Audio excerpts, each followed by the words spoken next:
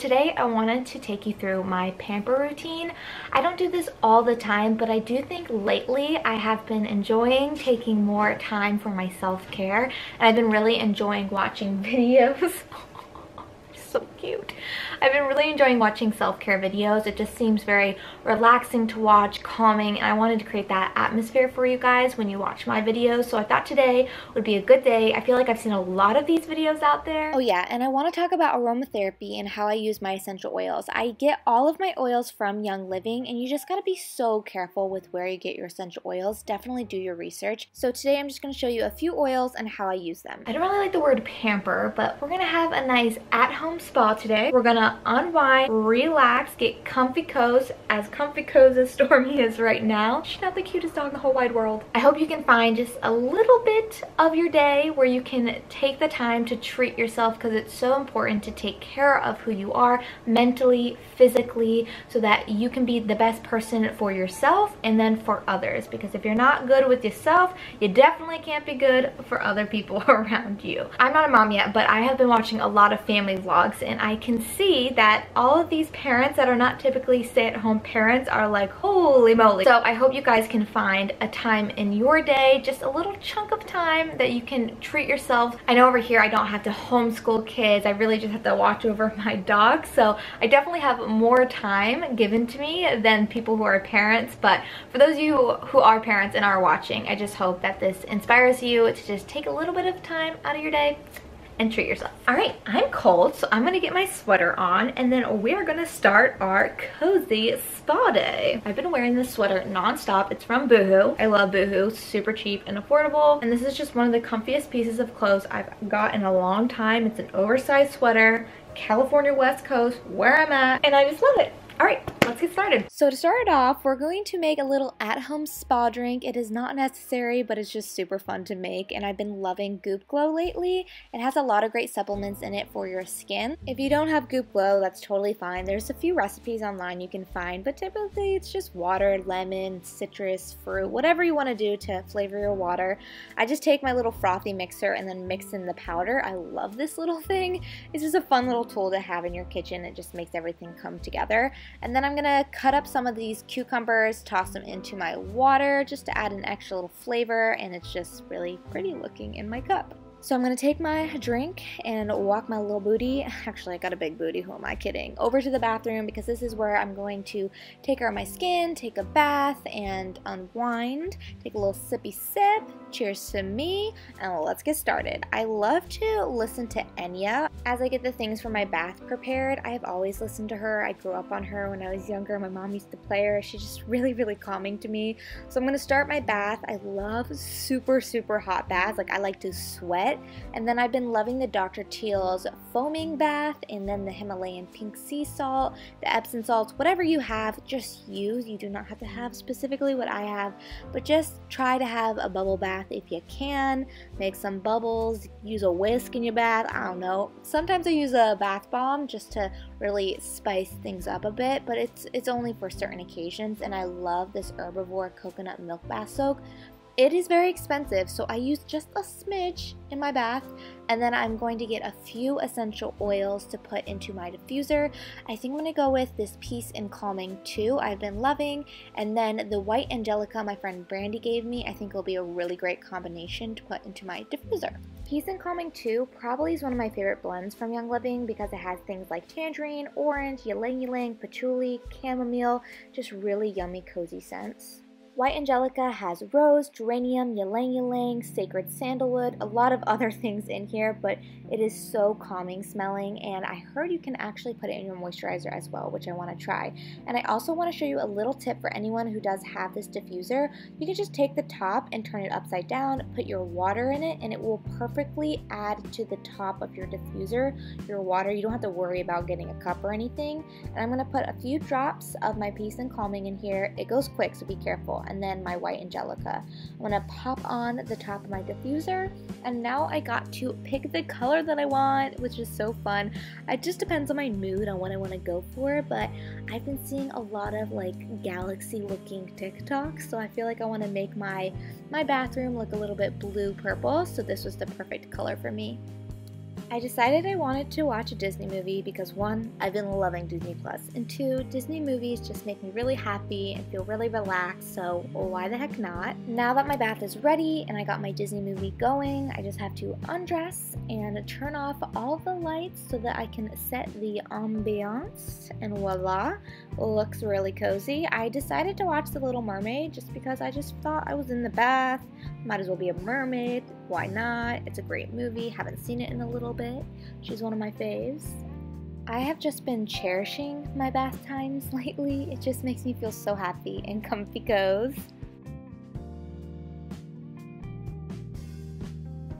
Now that I've sat in there for about 30 minutes because I was fully invested in Ariel and Sebastian Flounder, I'm going to put my hair back so that I can start my skincare, facial routine, it's not in depth, it's not very professional, but it's just something that I like to do that makes my skin feel really refreshed and glowy.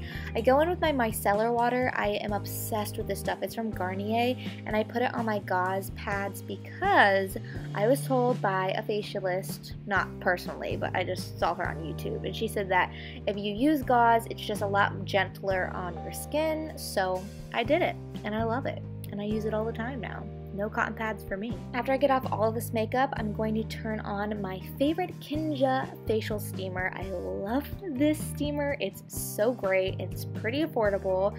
I take off the little top where the water goes in and I recently, I saw on someone's YouTube channel, they did this and they put essential oil into the top of the diffuser. And I thought that was a great idea. So I use peppermint because I feel like that really opens up my sinuses and is just a refreshing scent to smell in. So why not? Just a few drops, you don't need too many. You don't want to like blow your face off with peppermint, but just a little bit of a nice scent to go on your face while you are steaming away.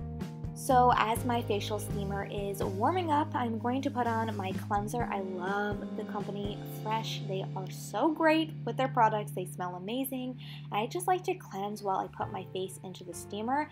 And yes, this looks dramatic, but it feels so good when you just smack your face up and down and use your knuckles to kind of carve out the caves into your cheeks. This is really going to get your blood flowing in your face and just take some extra time to really cleanse your face. Let the steam open up your pores and the cleanser will get deep in there. Now to tighten your pores, use cold water and then pat dry your face. Do not drag because you will create fine wrinkles if you drag, so pat dry. And then I'm going to go in with my Rose face mask, also from Fresh. I know it's a common theme, but I really love that company.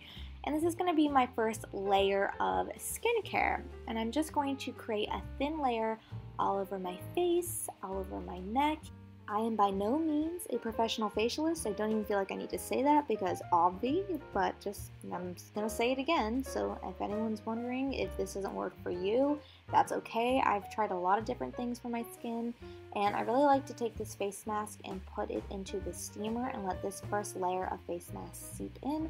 And do not forget your neck. Your neck is very important as well. After three to four minutes, I will wash this face mask off and then go in with another face sheet mask. I love this Pixi Plump Collagen Boost face mask. I recently just discovered them and they're awesome. I have the glow one as well. Pixi is a brand that you can find at the drugstore, which means that it is more affordable than some other face masks you may find at Sephora or Ulta. I really love sheet masks though, like I just feel like they really seep into my skin. They feel good. I prefer them probably over mud masks, definitely. Actually, I do. And I think it looks so funny with it on. I always think it's funny like what we will do for beauty and how we'll look during it. And then I go in with the jade roller just to get the serum to really seep into my skin. Deep breathing can be really calming to me, so I wanted to show you just a few of my deep breathing techniques. Nothing drastic, just in and out.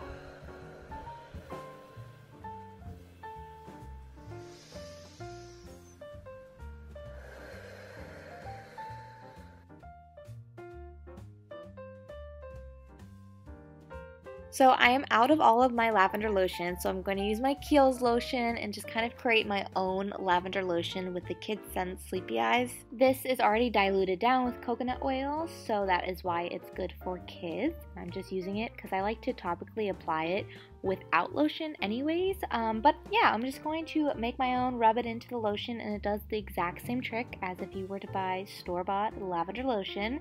And this is very, very hydrating and very soothing because because of the lavender.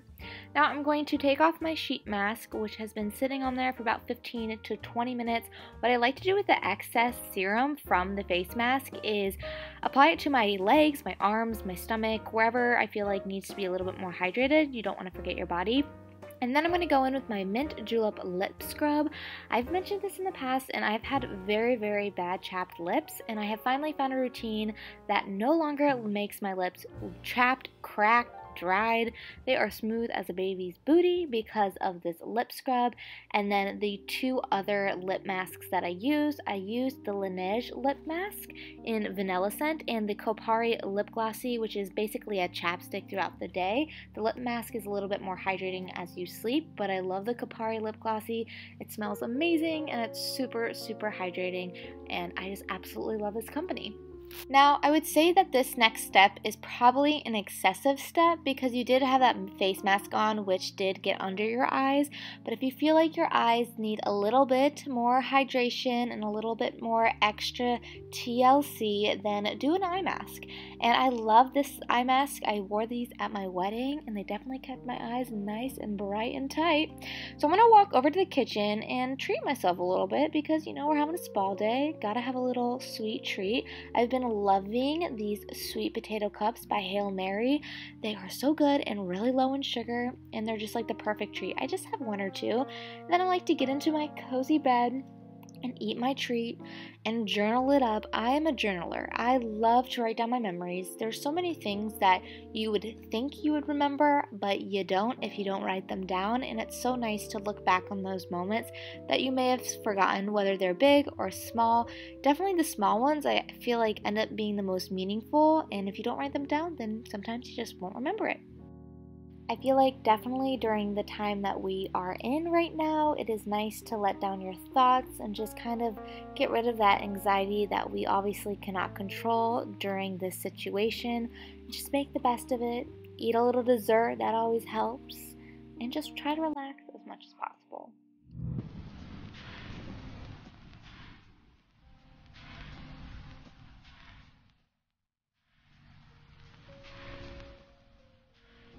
Now that I've written down all of my thoughts, it's time to lock in all that skincare you just did. Typically, I take my face cream and mix it with frankincense at night because it is the king of all oils. It's really great for your skin. It smells amazing. But I think I'm going to try White Angelica today because I read that it does the same kind of thing as frankincense when it comes to your skin. So I'm just going to try it out, see how it is. I love this face cream. It's nice and thick and hydrating. I have normal to dry skin and this definitely gets the job done.